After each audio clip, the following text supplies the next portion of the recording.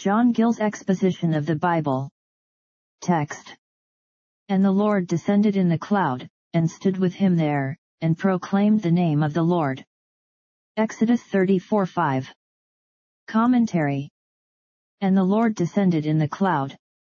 The same with the cloudy pillar, which was now gone up from the door of the tabernacle, and was on high in the air over the mount, and on which the Lord now descended in it, as he had before, Exodus 19 9 16 18. And stood with him there, not Moses stood with the Lord, as the Vulgate Latin version, but the Lord, or the cloud in which the Lord was, stood near to Moses. And proclaimed the name of the Lord.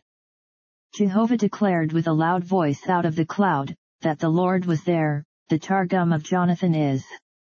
And Moses called on or in the name of the word of the Lord. And so the Vulgate Latin version refers it to Moses, and renders the words, calling on the name of the Lord, but the following verse clearly shows that it must be understood of the Lord, and not of Moses.